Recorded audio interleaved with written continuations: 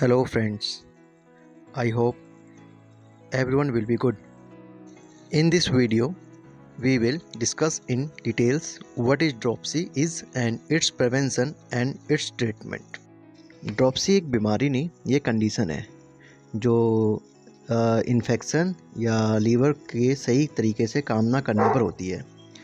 इसमें मछलियों का जो स्टोमक होता है उसमें लिक्विड भी हो जाता है जिससे स्टमक फूला हुआ या सूजा हुआ दिखाई देता है।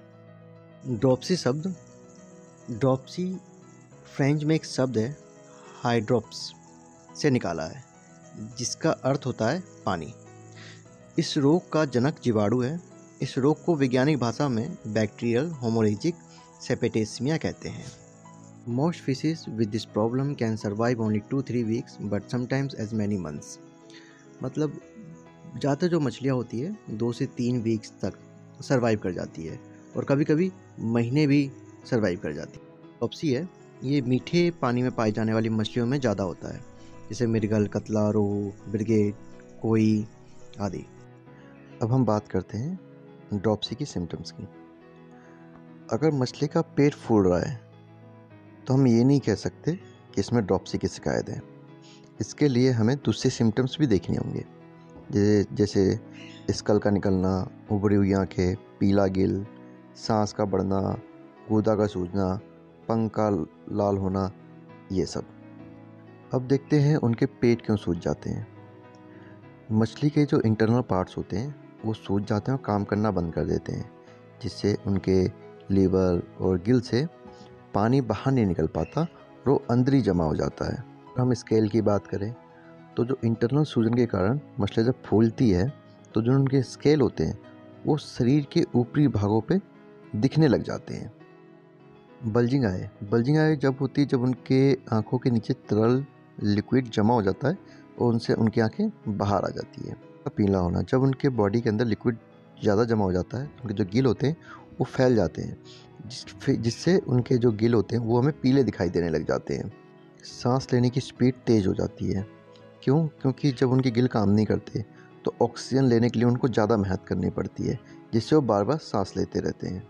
सोएलोएनस जब लिक्विड मछली के इंटेस्टाइन में जमा हो जाता है और वो बाहर नहीं निकल पाता है, जिससे उनके एनस में सूजन हो जाती है और रेड दिखाई देने लग जाते हैं। अगर हम बात करें स्किन और फेंस का रेड होना, जब उनके बॉडी में लिक्विड जमा हो जाता है तो उनका शरीर फैलता है।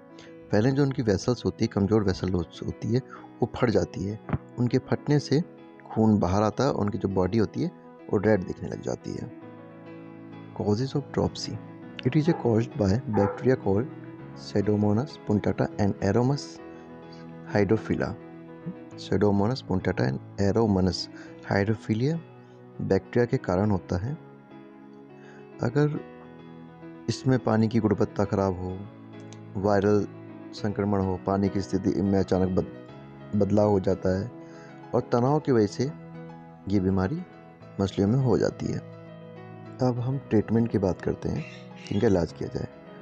ड्रॉप्स अपने आप में ज़्यादा एक्टिव नहीं होते हैं लेकिन अगर इनका जल्दी से ट्रीटमेंट नहीं किया गया तो ये उस टैंक में या तालाब में अन्य मछलियों पर भी निगेटिव इफ़ेक्ट डाल सकते हैं। मैं आपको ड्रॉपसी के सिम्टम्स दिखते हैं। तो आप पाँच मिलीग्राम केमनोफोर में दो मिनट तक मछली को डुबो के रखना है और ये रेगुलर दो से तीन दिन करना है। इससे मछलियों में काफ़ी असर दिखेगा। और इसमें मछलियों को स्ट्रोपेटोमाइसिन, क्लेरोमाइसिटीन और ऑक्स्ट्रा ट्राइसिक्लिन भी दे सकते हैं खाने में मिलाकर या इंजेक्शन के थ्रू। इससे मछलियों में काफ़ी सुधार देखने को मिलता है।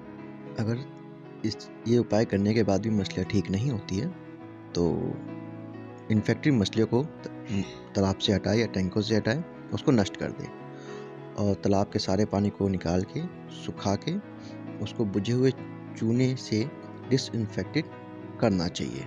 100 किलोग्राम हेक्टेयर के हिसाब से हर पंद्रह दिन पे आपको बुझा हुआ चूना तालाब में डालना चाहिए। अब इसका प्रिवेंशन करने के लिए हमें क्या करना चाहिए?